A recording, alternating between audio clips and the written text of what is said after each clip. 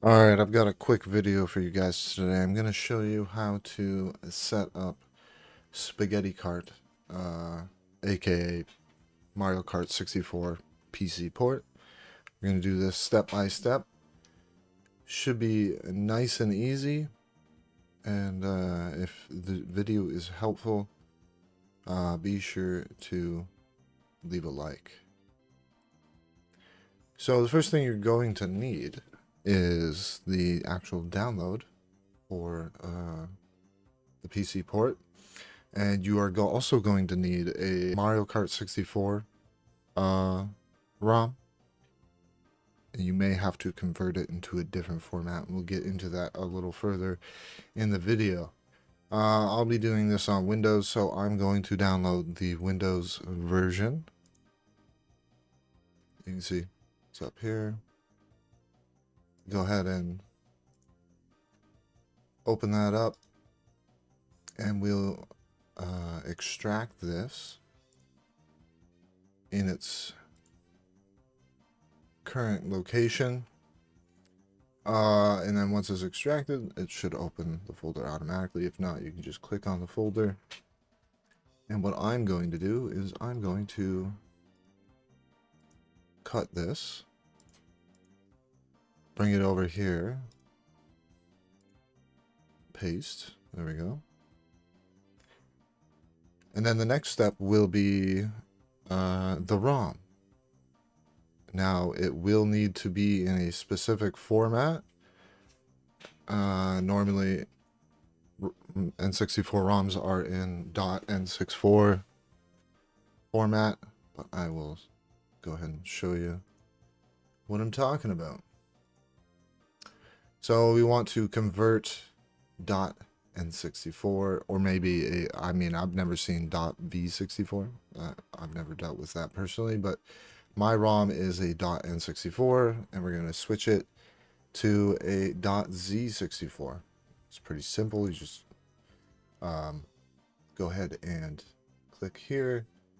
You're going to want to open the file. In my particular uh, situation, I have it in my documents folder. Just give me a moment to find it here. Emulator stuff. N64. Mario Kart 64. We'll go ahead and open that. Now we have a fresh file here. I'm going to go, go ahead and cut that. I'm going to put it in this folder here. All right. I already have this all downloaded and set it up. Um, so when when I first start this up, the uh, the audio is going to be pretty loud. So we'll have to go into the settings and uh, change some things. But you'll see once we get there. So basically, it's pretty simple. You just click on the exe. It's gonna add, it's gonna warn you that this is potentially a risky uh, app, but in fact it isn't. I'm gonna go ahead and run anyway. No O2R file found. Generate one? Yes. And then it's gonna ask you where's your ROM at. If it's in .n64 format, it's not going to show up in this folder. That's why we went ahead and converted it to .z64 or Z64, depending on how you pronounce that. Anyway, we're going to go ahead and click on this and it's going to do some stuff. The extraction process will now begin. This may take a few minutes. The compiler is compiling. Uh, like it said, this will take a minute. I've always found it to be pretty quick. And then it'll instantaneously start up.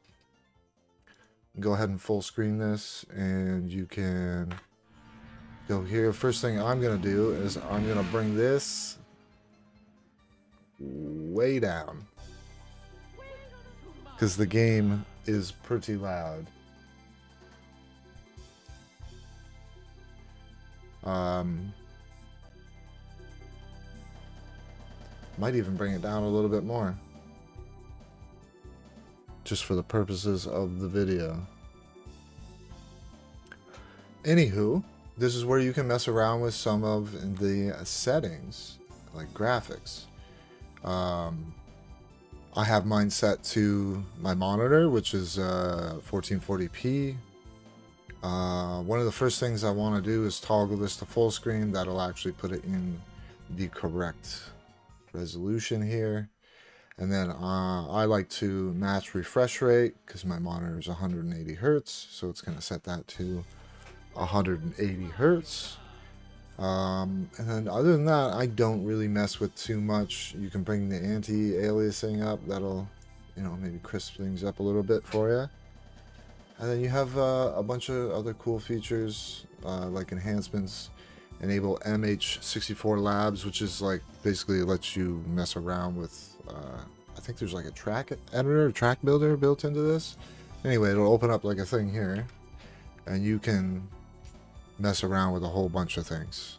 Uh, I don't fully understand all this stuff. I, I, mean, this could be something that I get into uh, as I gain a better understanding of this port. Uh, I might mess around with this kind of stuff, but you have a lot of things at your disposal. It's pretty cool. Uh, I personally just like it for having the ability to play the game in a much higher quality and I'm sure many others will feel the same. Anyway, uh, we'll go ahead and get rid of that. You can, uh, you have a free cam option. I haven't used that either. There's also some cheats, cheats in here. Moon jump, disable wall collision. So if you feel like messing around with those kind of features, uh, you could probably find some fun in that. So be sure to check that out if you if that's something you want to do. Then you have some stats displayers. You can do, uh, you can pop out this menu, I believe. Yeah, that's pretty straightforward. Uh, debug mode and uh, some other stuff that I personally don't fully understand. um, but yeah, this is a cool little PC port. Um, also, I should mention you have controller uh, you can set up your controller. I have a Switch Pro controller here. Pretty easy to do. Uh, so you might find my button mapping to be a little weird, but this is how I do it.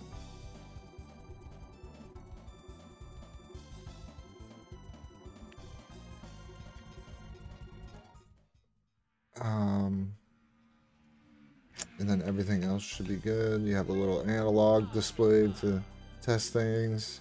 You know, dead zone. I was playing with 25% dead zone. I'm pretty happy with that. Uh, there's some other options down here that you can explore as well if you wish. We'll go ahead and do a, a race quickly to uh, demonstrate. So in the menus it is 4x3, but when you're actually playing it will I'm just going to go to 100cc so I, I don't embarrass myself. Uh, there are some issues with the game. There are crashes and stuff. For example, I was playing the game with Wario and uh, I came to find out upon completing a cup, the game will crash. Uh, the same issue persists with, oops, uh, with Donkey Kong as well. So, and the heavy characters are kind of the meta in the game, so I went with Bowser so that I don't have the crash issue at the end of the uh, cup. So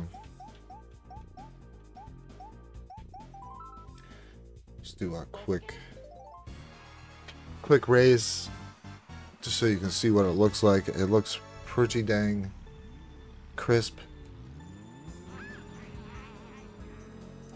Um, I don't think they replace the actual character textures because uh, they do kind of stand out as being a little jank in comparison to the rest of the environment.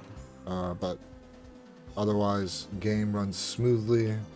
Uh, I'm currently playing it at 180 frames, 1440p, which is kind of a crazy thing to say about a game this old. But nice that we can do these kind of things. Um, once again, if you found this video helpful, and maybe you're going to consider uh, checking out this PC port, uh, be sure to leave a like. All that's good stuff. Uh, yeah. It's nice because we got a new way to enjoy an old game, and I don't think there's anything wrong with that at all. Either way, I'm going to call it a video here. Hope you guys enjoyed. Have a great day.